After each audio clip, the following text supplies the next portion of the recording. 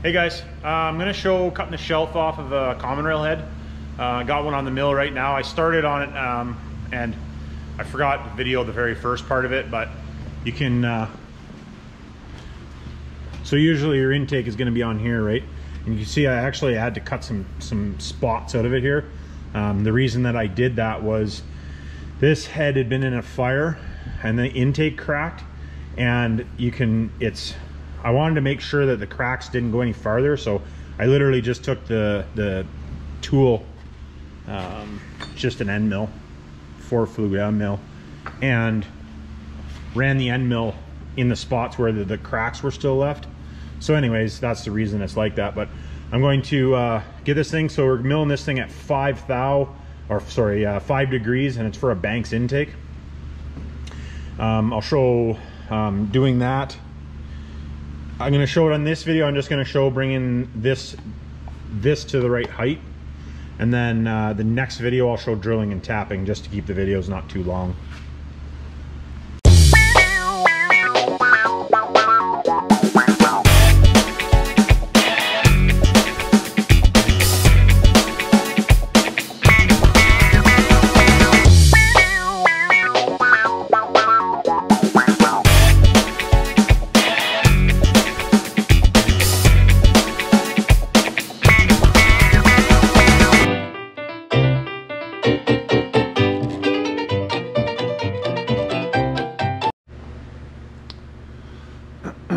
So, got the intake all shaved off there.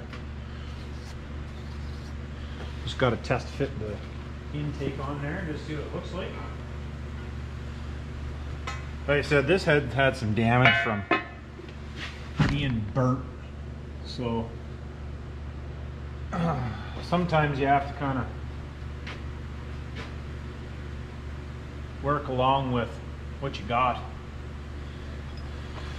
some of the uh, dimensions were kind of weird and there was some funny looking marks in it and the intake cracked off and stuff so you want to uh, you just want to make sure that you get everything kind of kosher. I took a about a 5 thou cut off of the top of this when I had it perfectly flat. That was earlier. I, I didn't film that part of the part of it just when I'm rough cutting it off. I took about a 5 thou cut off there and I'm wishing I didn't now but it's almost the same angle, but the intake's gonna work no problem on this, so. I can inset it up there quite a ways like I want to.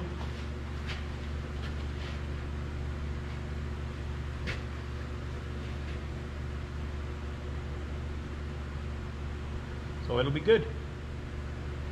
So yeah, next uh, on the next video, um, actually I guess I should maybe show I'll give a quick show on how I set these things up. So,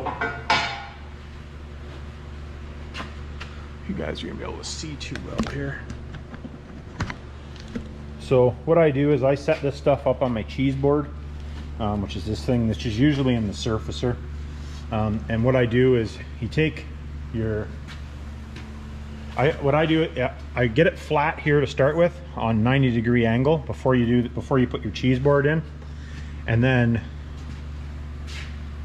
what I do is take your dial indicator, stick your dial indicator on here, which I can't because the head is in the way, but put your dial indicator on there and then you run the, the mill bed back and forth and dial it in from end to end. And you can adjust, that's when, that's the reason I use the cheese board is that this is actually an adjustment to take the head and tip it up and down. So it pivots off of this side, so you get a better view. And then this side tips up and down. It's the reason I like using the cheese board. And then there's a five degree angle that's met on this. So I just take an angle find, digital angle finder, one of the ones that I have, stick it to your, stick it to the mill, stick it to the head, and then you bring your five degrees off that you need off the intake. So it's not really too too difficult. It's pretty simple process. Really comes down to it. It's a bit time consuming, but it's not too bad. And then uh, I will uh, I'll make up a video. I don't know if it'll be tomorrow or when I when I get to it anyways here pretty quick. Um, and I'll show you guys the process and maybe I'll video the whole thing instead of time lapse some of it. Um, nah, I'll probably time lapse a little bit of it, but um, how I mark and you put your intake on there. Your intake brings everything back straight again. And the reason that you put that that five degree angle on there so that you don't lose so you don't lose where your valve cover sits right here. Otherwise your valve cover gasket gets cut off. Um, don't ask me how I know that. Very first one I ever did. That it works like I said I'll show the drilling and tapping in the next video. And uh, yeah we'll go from there. All right uh, well thanks for watching guys. And uh, we'll catch you on the next one